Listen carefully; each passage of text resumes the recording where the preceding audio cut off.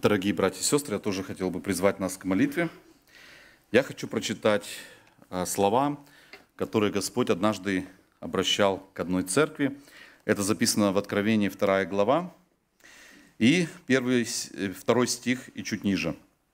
«Знаю дела твои, и труд твой, и терпение твое, и то, что ты не можешь сносить развратных, испытал тех, которые называют себя апостолами, а они не таковы, и нашел, что они лжецы.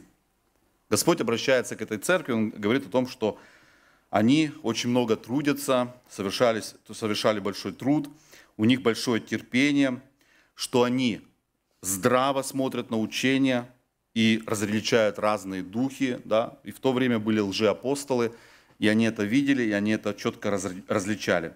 И третий стих. «Ты много переносил и имеешь терпение, и для имени моего трудился и не изнемогал». Такая очень хорошая характеристика. Я думаю, что очень важно нам время от времени перечитывать вот эти обращения к этим церквям, потому что здесь Господь говорит к церкви, но я думаю, что эти слова, они относятся лично для каждого из нас, абсолютно каждого члена церкви. И когда я читал эти слова сегодня, я проверял каждый из этих пунктов и думаю, Господи, смотрю на то, что Бог говорит, и думаю, до этого вопроса, до многих вопросов не дотягиваю. Тут написано, много переносил и имеешь терпение. Мы иногда переносим что-то, но терпения не хватает. И для имени моего трудился и не изнемогал. Иногда бывает, трудишься, что-то делаешь, и приходит изнеможение. А тут написано «и не изнемогал». То есть люди были очень сильны в том, чтобы трудиться, совершать дело, и при этом не уставали. Такая очень хорошая характеристика. Но Господь обращается в 4 стихе и говорит, «Но имею против тебя то, что ты оставил первую любовь твою». И Бог говорит, что но есть одна, и не маленькая, а большая проблема. Ты оставил первую любовь твою. И дальше он говорит, «Итак, вспомни, откуда ты не спал, и покайся, и твори прежние дела, а если не так, скоро приду к тебе и сдвину светильник твой с места его, если не покаешься».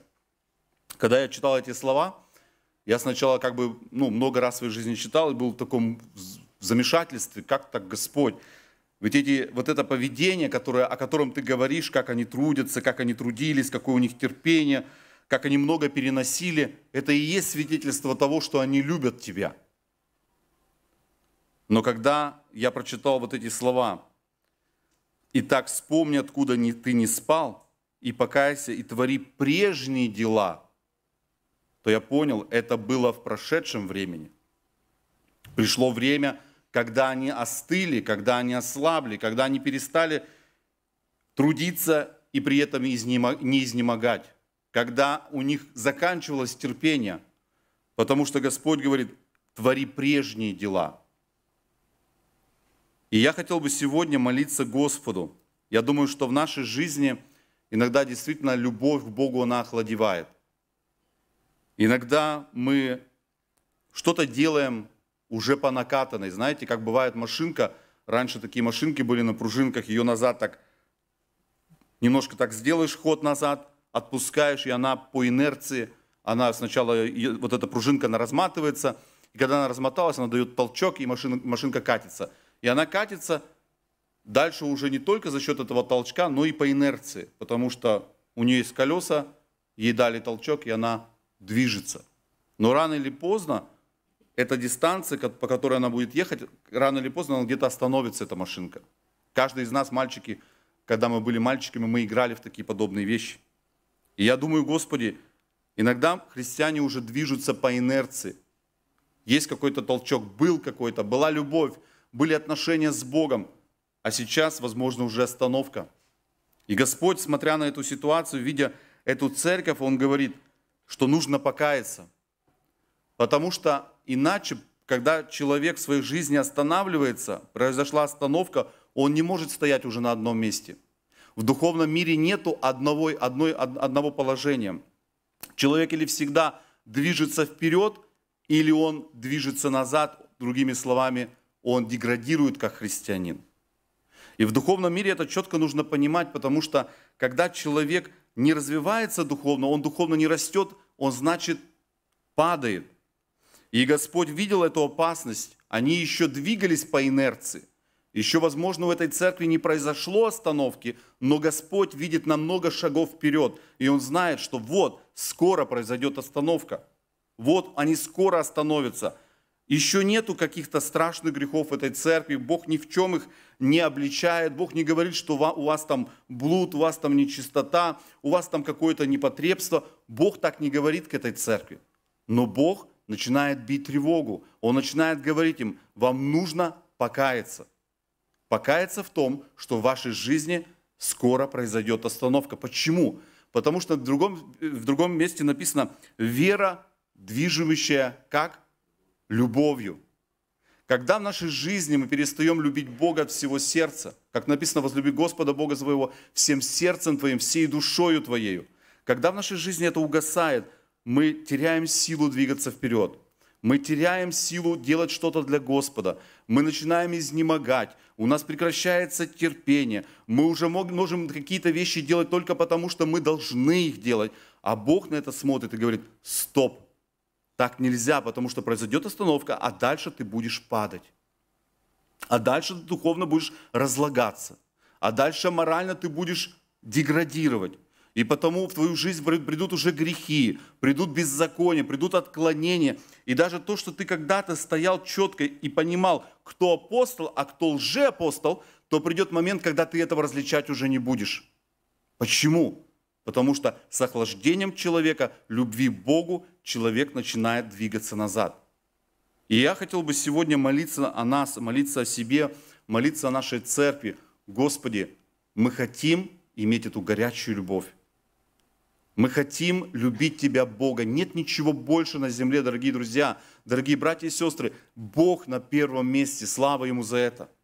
Он держит мир в своей руке, Он держит все. Как мы сегодня уже слышали, мы в Его руке. И если мы крепко ухватимся за Него, если мы будем любить Его от всего сердца, абсолютно, это не только слова, это действие. И я верю то, что было сказано Господом по отношению к этой церкви. Он говорит, я знаю твои дела, труд твой, терпение твое. Все это было, и это прекрасно. И это подтверждение Божьей любви, э, вернее, Божьей любви к Богу.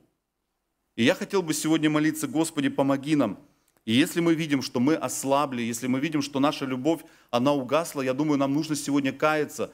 Я думаю, нам нужно говорить, Господи, прости. Есть много моментов в нашей жизни, много таких вещей, которые способствуют тому, чтобы гасить Божью любовь в нашей жизни. Это, например, просто суета. Суета, которая на первый взгляд не кажется какой-то страшной проблемой, но она гасит любовь нашу к Богу желание читать Священное Писание, желание молиться, желание ходить в служение. И всегда можно найти причину, и всегда можно себе объяснить, самому себе для успокоения совести, что у меня форс-мажорные обстоятельства. Но когда человек любит Бога, он способен проходить через большие трудности, он способен проходить через трудные времена своей жизни, через искушения. И я хотел бы молиться, потому что мне кажется, что скоро придут сильные перемены и в нашу страну. И каждый христианин, он будет стоять перед Богом, и он, каждый христианин будет стоять перед этими трудностями, испытаниями. И как важно сегодня, чтобы наша любовь, она была пылкой к Господу. И только такой христианин, он сможет пройти, может быть, эти трудные времена. Мы не знаем, что нас ожидает, но одно только понятно, что мы живем с вами в последнее время. И я хотел бы молиться, Господи, помоги нам – Потому что Бог говорит, если не покаешься, если что-то не переменится в твоей жизни, то Он говорит, издвину светильник твой с места его, если не покаешься. Покаяние, братья и сестры, это, конечно, сердечная просьба Богу о переменах нашей жизни, нашего образа жизни, нашего мышления, нашего отношения, нашего, нашего поведения. Давайте мы помолимся. Если, может быть, кто-то нуждается, чтобы за него отдельно, особенно была совершена молитва. Вы можете проходить наперед. Мы как церковь будем молиться друг за друга. Написано, носите бремена друг друга, молитесь друг за друга, поддерживайте друг друга. Для этого мы есть сегодня на этой земле. Слава Господу. Для этого Бог сегодня созидает свою церковь, потому Дух Святой сегодня здесь, потому Слово Божие сегодня не прекратило свое действие. Слава за это Господу. Помолимся Ему. Аминь.